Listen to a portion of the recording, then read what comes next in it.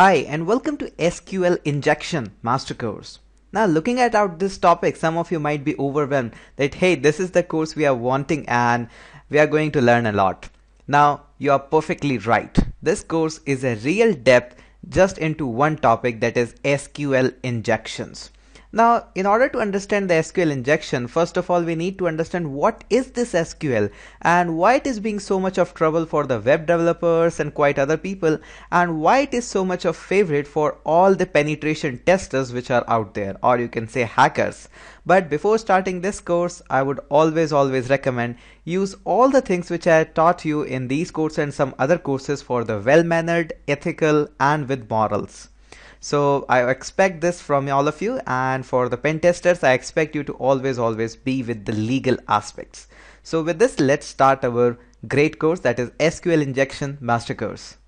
Now in order to understand the SQL Injection Master Course first of all we need to understand what is this SQL injection as this course is not at all about teaching you the basics of SQL this is all for the hackers or pen testers.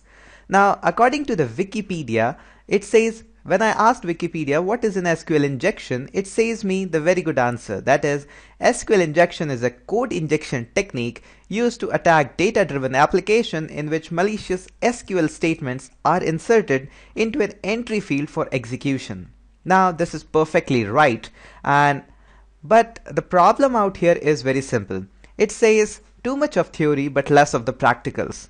Now, in, a, in order to understand the SQL injection, we first need to go through with the practical aspect and all the time in the course I'll be going through with a lot of practicals. But first, let us understand what is the problem because it is not like you are going to inject any string and database is going to reply for it. So let us understand where is the problem. To understand the problem scenario, I have depicted a very good diagram that will help you to understand the basics about the injection. But once we'll move on to the practical aspects and our lab setup, you will understand each and every bit with much more clarity. So be patient with me. So first of all, let us understand how a web actually work because SQL injection is mostly on the web driven technologies. So here is our insider which is actually being relaxed by implementing a firewall here and a firewall here. Now here is actually the web applications look like. Here is our hardened OS, the web server.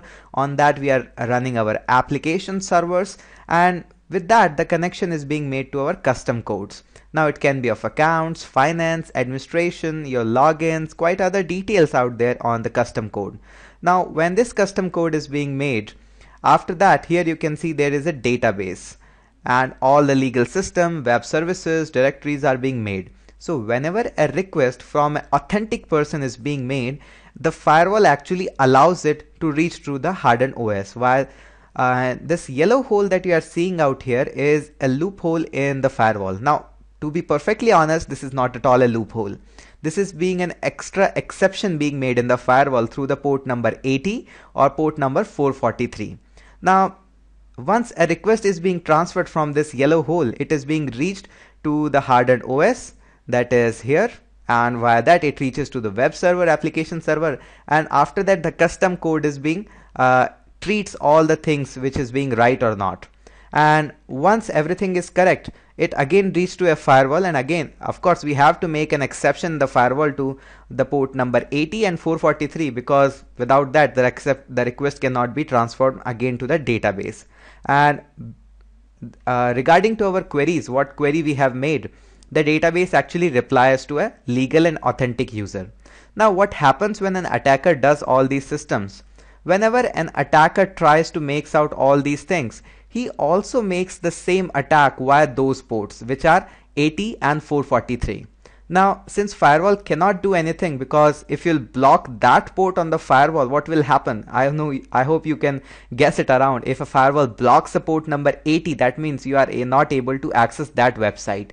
And a website which you cannot access is not, cannot be called as a website. So here is the simple problem scenario because attacker always tries to inject everything via port number 80 or maybe port number 443. So depending on the firewalls, it is not a perfect solution. And this is actually we are going to take in a much deep manner in the entire course. So I have you have got a quite much better scenario what is SQL injection and how it works out. So the attacker will perform the same things via the port number 80 it will pass through bypass through the firewalls and will reach out to the custom code. Sometimes we will trick out the custom code but ma many times we will we don't even require to trick it out. And after that the final the database is actually going to manage all the things for us. And it is again going to reply from all these hardened OS and everything wire to directly to the attacker on the web page. Now this is really a troublesome and scary one. So let's start our course and deep dive into the SQL injection master course and thank you so much for watching.